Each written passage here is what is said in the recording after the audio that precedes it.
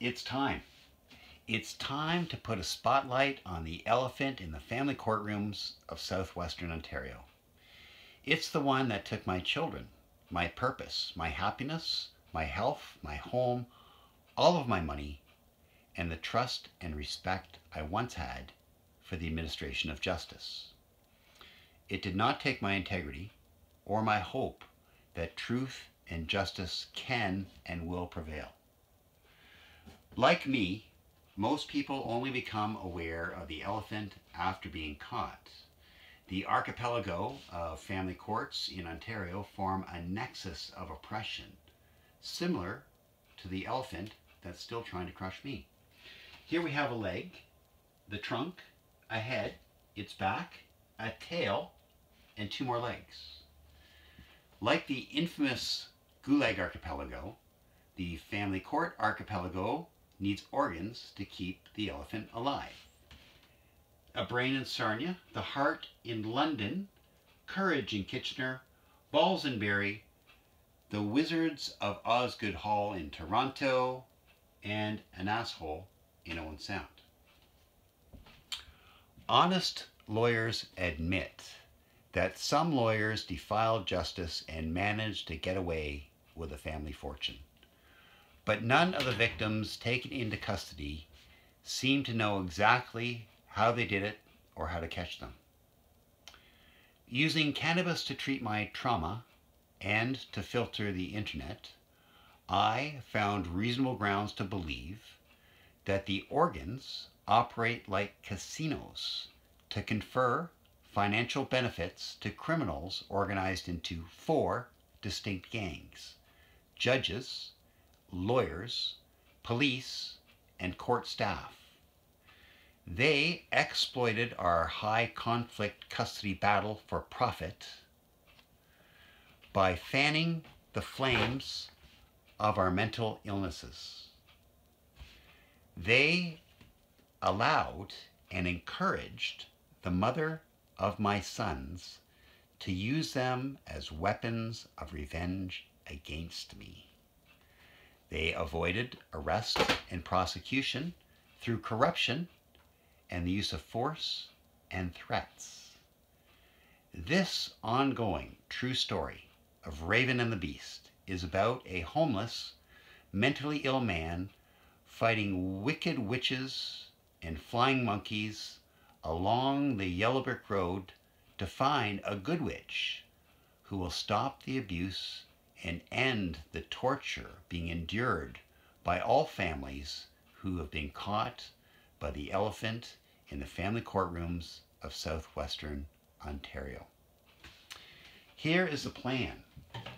According to the Canadian Charter of Rights and Freedom, every individual is equal before and under the law, and has the right to the equal protection and equal benefit of the law without discrimination.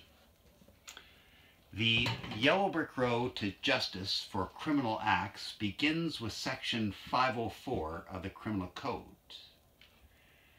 A prosecution begins when an information is laid in writing and under oath before a wizard. Flying monkeys in Toronto, Hamilton, Barrie, Newmarket, Kitchener, and Owen Sound have obstructed my right to prosecute the gangsters that have stolen my sons and thrown me into debtor's prison.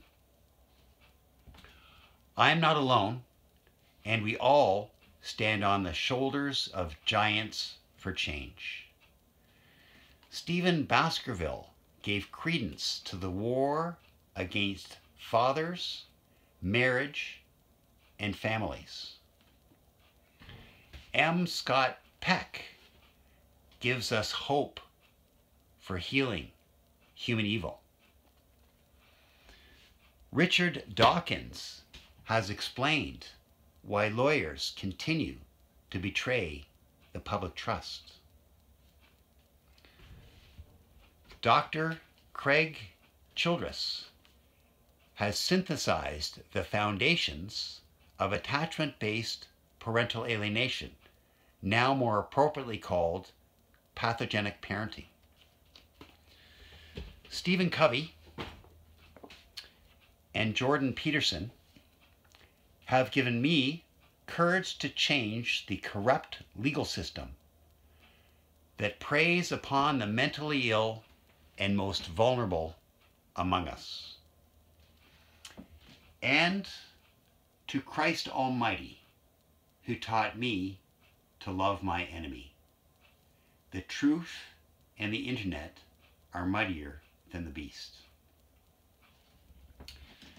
True crime in real time will be reported from here in the belly of the beast on the mountain near the forest in Raven's studio.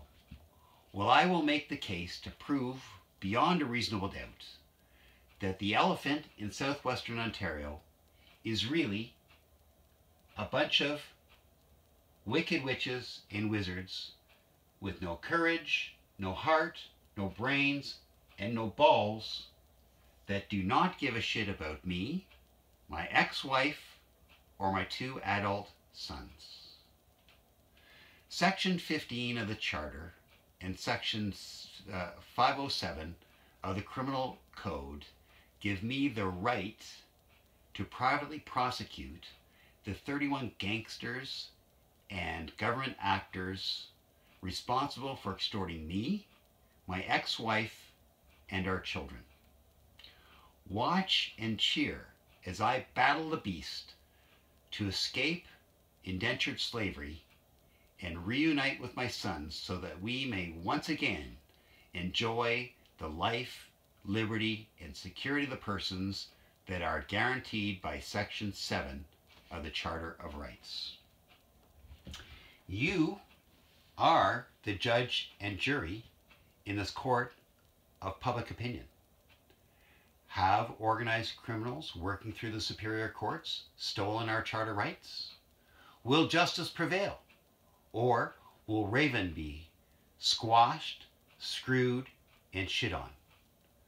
Come back daily for updates, and you can help be the change by mailing your opinions to Courageous Raven, Private Prosecutor, Box 705, Mount Forest, Ontario, N0G 2L0.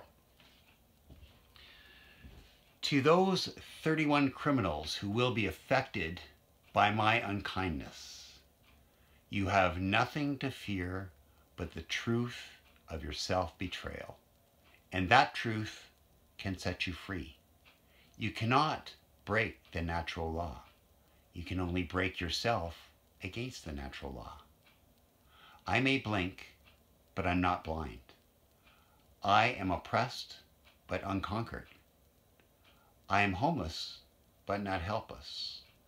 I am mentally ill, not stupid.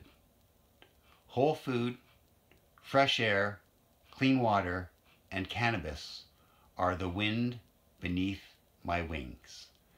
I am Courageous Raven, private prosecutor, and I am going to bring you to justice.